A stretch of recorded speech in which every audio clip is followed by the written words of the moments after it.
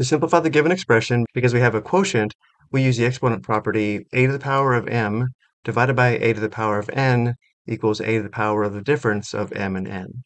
Working our way from left to right, we first have the fraction negative 3 ninths, and then we have t to the power of the difference of negative 8 and negative 4. Next, notice the y's and the v's are not lined up. We have v to the power of the difference of 7 and negative 5, and y to the power of the difference of negative 2 and negative 1. And now let's begin to simplify. Negative 3 ninths is negative 1 third, and then we have t to the power of negative 4, v to the power of positive 12, and y to the power of negative 1.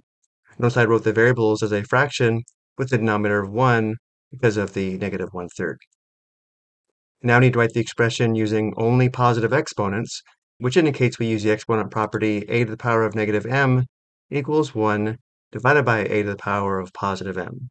This indicates if we move t to the power of negative 4 and y to the power of negative 1 to the denominator, the sign of the exponent will change. Which gives us our final simplified expression of negative v to the power of positive 12 divided by 3 t to the fourth y. I hope you found this helpful.